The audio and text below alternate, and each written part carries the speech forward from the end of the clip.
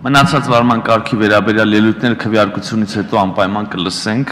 եւ ուզում եմ հիշեցնել, որ քվեարկվող նախագիծը համանդրական օրենքի նախագիծ է, ուստի պետք է ընդունենք այն падգանորների ընդհանուր թվի ձայների առնվազն 3/5-ով եւ այսպես քվեարկության է դրվում կառավարության կողմից ներկայացված համանդրական դատանի մասին համանդրական օրենքում լրացում կատարելու մասին, մասին եւ պաշտոնատար անձանց գործունեության ապահովման, սպասարկման եւ սոցիալական երաշխիքների մասին օրենքում լրացում կատարելու մասին օրենքների նախագծերի փաթեթը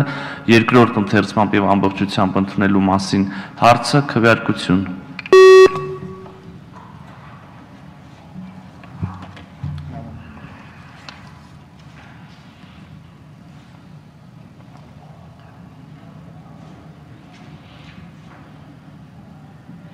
Դահլիճում ներկա պատգամավորներից կողմ 75 դեմ 34 ձեռնպահ 0